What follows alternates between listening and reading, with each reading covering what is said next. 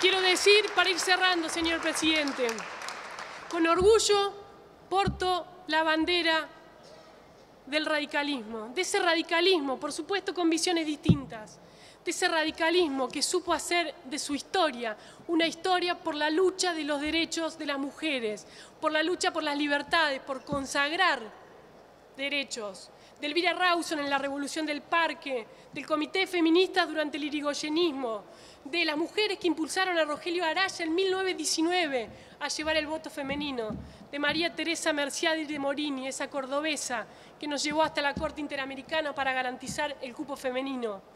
de Raúl Alfonsín, el que impulsó el primer Congreso Internacional de Violencia, la Dirección Nacional de la Mujer, y el que nos dijo algo que recién olvidaron mencionar en la Convención Constituyente, que la mejor manera de proteger la vida y de evitar la tragedia del aborto es con el acompañamiento del Estado y no con la penalización.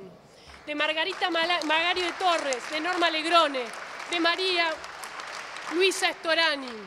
y indudablemente Florentina Gómez Miranda, aquella valiente diputada que de su puño y letra llevó uno de los primeros proyectos de ley para que discutamos la, despenalización y la legalización del aborto en nuestro país.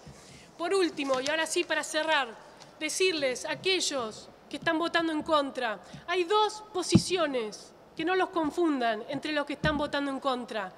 los que tienen esta visión absoluta, que quieren volver antes de 1921, que quieren penalizar también a las mujeres que abortan producto de una violación, y aquellos que legítimamente tienen dudas y creen que habría que pensar solamente en la despenalización. A esos les pido que no sepulten la posibilidad de dar vuelta la página en Argentina, que nos permitan con su voto llegar al debate en particular y que voten aquellos artículos en los que se sienten contenidos. Termino diciendo,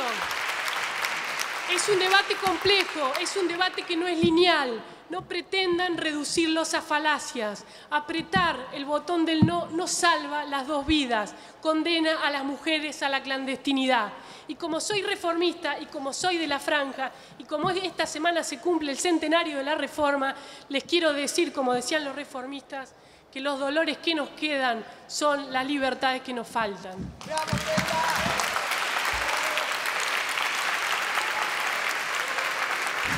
Gracias, señora diputada.